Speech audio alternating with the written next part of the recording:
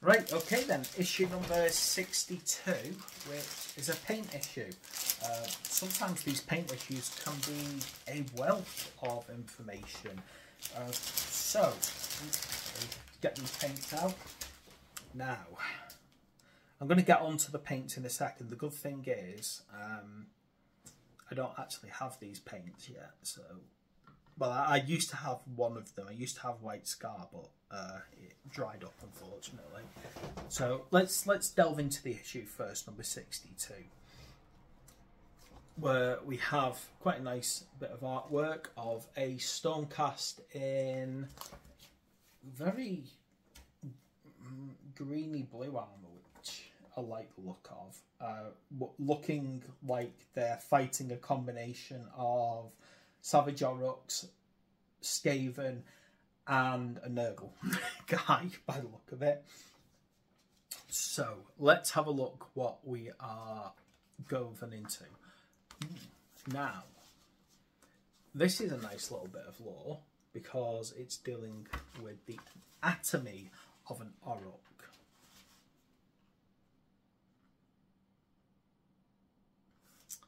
I'm, the reason I'm curious about this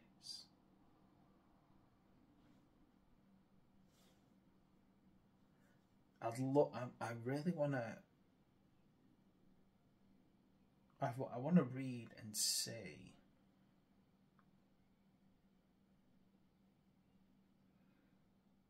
How they describe, if they describe what an orc is. So, the orcs in general from 40k and Warhammer Fantasy Battles, they're a fungus. There's no other way to put it.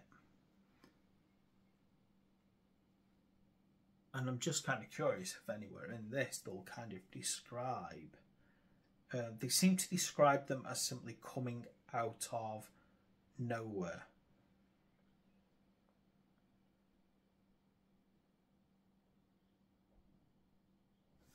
So, you know, kind of curious about how they describe them.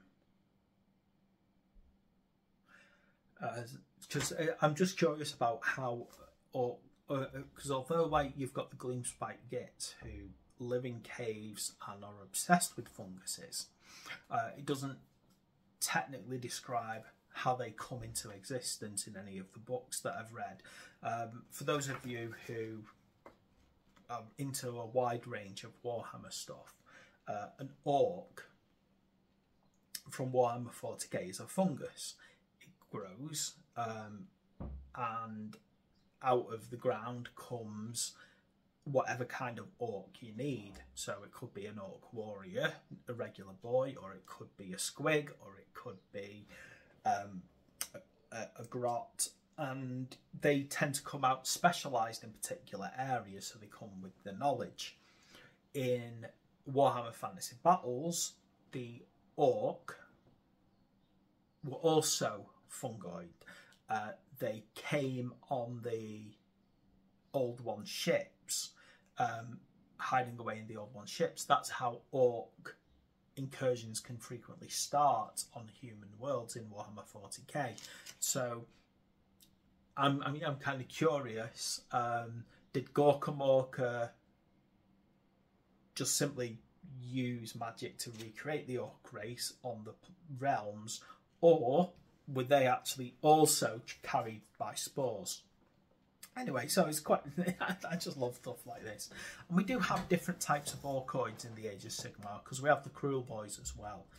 So again, it, it, it would be kind of but it, would be a nice thing to find out what an Orruk is uh, in relation to um, what's it called now? Uh, you know, what kind of creature are they? Are they linked to the orcs of 40k and the orcs of fantasy battles, or are they a completely different kind of creature?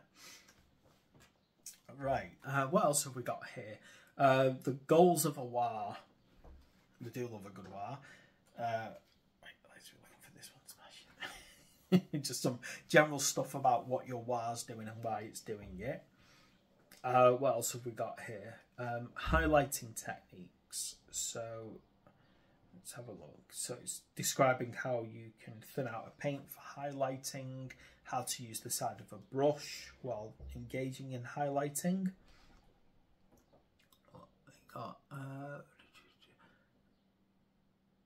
right, so yeah, this is quite good. Like specific tips on when you would use the side of a brush, when you would use the tip of a brush. Metallics, uh, on how to highlight with metallics. Uh, suggestions on how to approach painting faces. Again, I'm probably thinking that I'm going to read that because it's probably skin tones are probably one of my weakest areas. And then specifically how to use white scar and Sybarite green. So we got here. Right, so, um, and then we're moving on to Destruction Tactics, Sneaky Snufflers in a Squig Herd. Uh, Flame and Fury, Ashes to Ashes. So this is our linked battle narrative that we're going to, you know, obviously delve into. Um, so, paint. Uh, white Scar. So basically, you use White Scar if you want a proper white, so a very lighter coloured white. Uh, to be honest, you won't tend to find you'll use that um, on a lot of wide areas. I tend to, to use this as a highlighting colour only, just because, as a lot of people might tell you, uh, if you ever try and paint an entire model in white, uh, it, it, will not it will not look good. Um, the best thing to do is use lots and lots of shades of grey and build up the colour, and then highlight key areas with white. Uh, this one's quite a lovely colour as well. I like this. It's uh, it's got a very um, I don't know. It's I can't really describe its exact colour. Really, I suppose you could call it a mint green. Yeah, it's a very minty coloured green. Again, uh, I'd love to use that, and again, because it's a very vi vibrant, bright green, uh, great for highlighting. Uh, right, so there we go. That's our issue number 62. Uh, that's me done with the main issues, but I've got one more special issue up and coming.